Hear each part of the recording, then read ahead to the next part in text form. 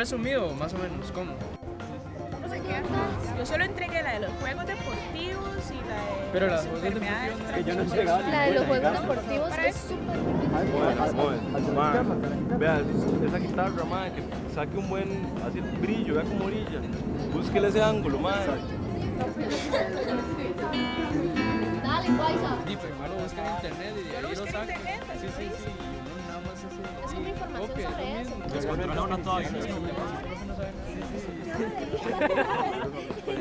Pura vida. ¿Qué más? ¿Todavía hay? Pura vida. Nosotros dos andamos haciendo un video sobre afectividad. ¿Ustedes nos pueden ayudar? Sí, sí, está bien. Dale, dale, madre. Pero con esa cámara. Di, es para empezar. bueno. Empezamos con vos, Chris. Ok, silencio, por favor. ¿Qué es la afectividad para vos? Sí, yo creo que la afectividad es la expresión de nuestras emociones, todo lo que sentimos y cómo nos ayudan nuestras decisiones. Y para entenderlo más, primero necesitamos conocernos a nosotros mismos. Vamos con vos, Dani. Ok.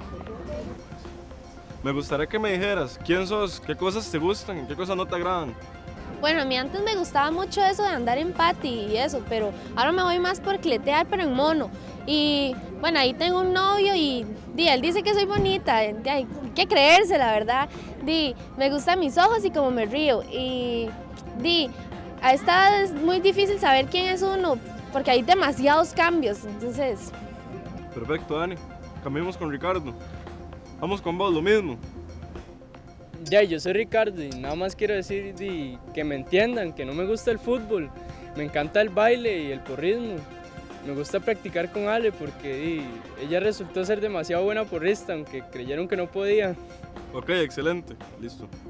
Muchas gracias, muchachos. Por ahí. Muchas gracias, Por por ahí, ahí. muchas luego, gracias. muchachos. chao.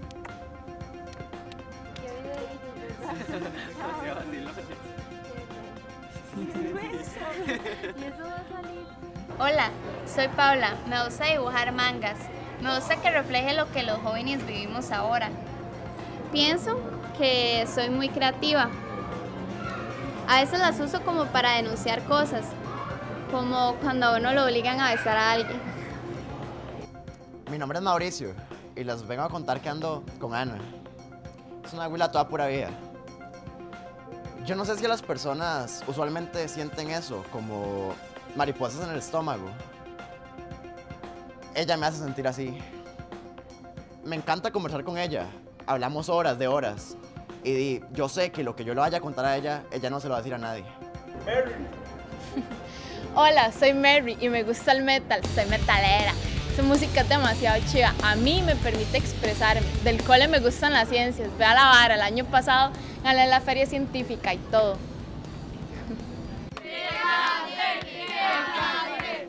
Como ven, me gusta cantar, pero también me gusta hacer malabares, el arte circense. Para alguna gente es muy chiva, pero para otros piensan que somos maleantes. A veces como tengo el pelo largo, la gente se cruza de acera cuando me ve. Me molesta que la gente lo juzgue a uno sin conocerlo, sin saber lo que uno realmente piensa. Me bajonea esa vara, que no lo pueden conocer a uno como soy. Como ven, todos somos muy diferentes. Eso hace que todos seamos únicos, originales y valiosos. Ok, corte. Jale al aula. Dale. Muy bien chicos, tenemos muchos temas por conversar hoy. Me voy a sentar. Primero quiero preguntarles a los que realizaron el video cómo se sintieron. De, profe, fue algo muy chido porque yo no sabía un montón de cosas de los compas. Fue divertido, sobre todo porque cada quien tiene peculiaridades y diferencias. Es como dicen, cada quien es un mundo. ¿Ustedes creen que durante la adolescencia tenemos definida la identidad? A veces yo creo saberlo, profe, pero a veces no. Sí, profe, a veces uno no sabe quién es. Un día es una niña y otro ya hay que sacarse las cejas y todas esas cosas. ¿Y cómo se sienten ustedes con todos estos cambios? De ahí, profe, ¿cómo se va a sentir uno? Raro. De ahí, no es chiva que a uno le salgan espinillas. Sí, o que la voz le cambia a uno sin darse cuenta y que todo el mundo se muera de la risa. Pero eso no es nada, ustedes no saben lo que es andar con la regla todos los meses. Sí, y también como dice María Paula, a veces los amigos se enojan o se burlan porque no les gusta lo que uno hace, los discriminan, como dijo David. Y para mí, no sé, las mujeres como que se preocupan mucho por verse bellas, ¿verdad? Y la belleza está en una buena alimentación, una buena salud y aceptarnos como somos, así, con espinillas y todo. Cierto, profe. Ahora las mujeres los presionan mucho con eso de las medidas de 90, 60, 90. Ni que fuera una placa de carro. Bueno, chicos y chicas, la adolescencia es una etapa por la que pasamos todos los seres humanos y esta conlleva una serie de cambios. Y esto hace que en esta etapa cada uno siga construyendo quién es como ser humano. Por supuesto que la gente con la que nos rodeamos también influye en ese quién soy y debemos tomar decisiones al respecto. A veces también en ese quién soy hay que tomar decisiones sobre lo que no queremos hacer, como discriminar u obligar a otros a hacer ciertas cosas, ni que lo hagan con nosotros. Allí es donde realmente uno ve la afectividad. No solo es darse regalos, hablar bonito, es demostrar con hechos que uno se respeta y respeta a los demás. Pero, profe, no solo eso es afectividad. Entonces, ¿qué es afectividad? De ahí andar con la novia, como lo que decía Mauricio que sentía cuando veía a Ana. No, ma, eso es sexualidad. Pues sí, la afectividad también se relaciona con la sexualidad. Uy, profe, entonces usted está diciendo que Cintia y Juanca ya tuvieron relaciones. Cuente, cuente. Ok, cuando te referís a relaciones, te referís a las relaciones sexuales coitales. ¿Cómo, profe? Vamos a ver, relaciones sexuales tenemos todos en este momento porque somos seres sexuados. ¿Qué es eso, profe? Ser sexuado significa que nacemos con un sexo biológico que nos va a definir como hembra o macho. Pero además las sociedades han construido roles y demandas para cada uno de los sexos biológicos. ¿Cómo así, profe? Es como eso, que cuando uno es hombre o mujer, le tocan ciertas cosas. Exacto, pero es importante que ustedes entiendan que a veces esos roles no son buenos, pues nos asignan características o limitaciones por prejuicios y no por nuestras capacidades, sentimientos y habilidades.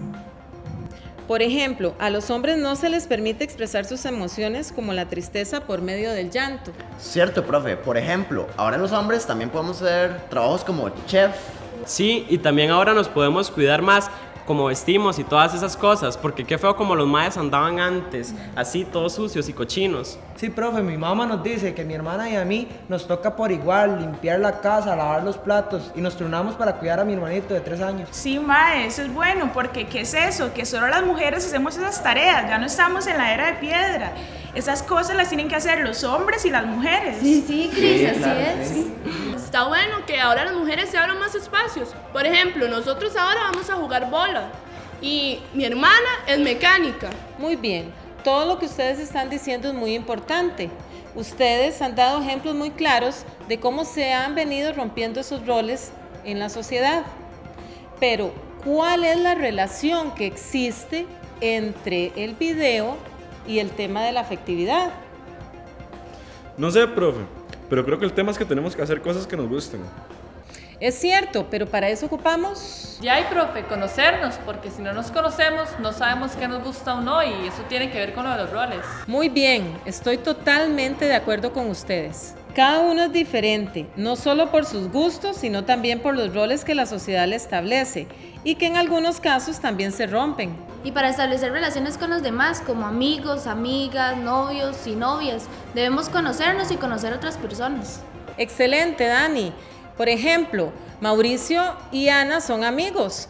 Ellos aprenderán cosas nuevas el uno del otro. Solo la amistad es- ya es algo muy lindo, donde todos disfrutamos y aprendemos muchas cosas. Por ejemplo, siguiendo con el caso de Ana y Mauricio, ¿qué necesitan ellos para disfrutar de esa amistad?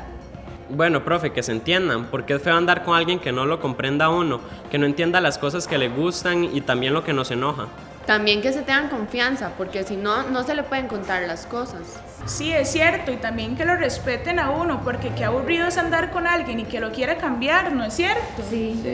Uy, sí, es como esa gente que le dice a la novia que, que se vista de tal manera o que deje de hablarle a un amigo.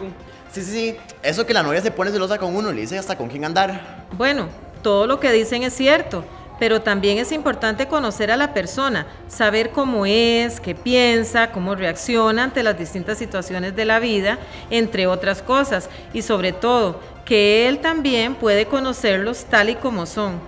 Eso también aplica para un noviazgo, familias, compañeros y compañeras de colegio. Hey, profe, pero eso no es cierto, porque cuando alguien nos gusta, tratamos de ser lo que él o ella quiere, hacer cosas para impresionarlos. Pero entonces esa persona no te quiere, le gusta solo el personaje, así no van para ningún lado. Así es, nosotros no podemos estrechar los vínculos afectivos si no permitimos que las personas nos conozcan como somos, si no podemos ser sinceros con nosotros y los demás. Pero bueno, en síntesis, ¿qué es lo que hemos visto hasta ahora? Que en la adolescencia todos estamos cambiando y vamos construyendo quiénes somos. Que uno debe conocer a las personas para fortalecer las relaciones entre amigos, amigas, compas y novias. Que ser afectivo es respetarse uno mismo, respetar a los compañeros y a los amigos y aceptar las diferencias. Sí, profe, está muy bien que las amistades y los noviazgos se basen en el cariño, en el respeto, en el apoyo y en la confianza. Muy bien, María José. Todo lo que ustedes han aportado hoy es muy importante. Recuerden que debemos de procurar tener una vida donde desarrollemos vínculos afectivos saludables.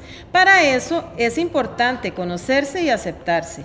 Esto les va a permitir enfrentar situaciones para que la presión de algunos no los pueda llevar a hacer cosas que están en contra de su voluntad. Bueno, chicos y chicas, fue un verdadero placer estar hoy con ustedes. Gracias. Y recuerden que en la próxima clase vamos a tener un tema diferente, el placer como fuente de bienestar.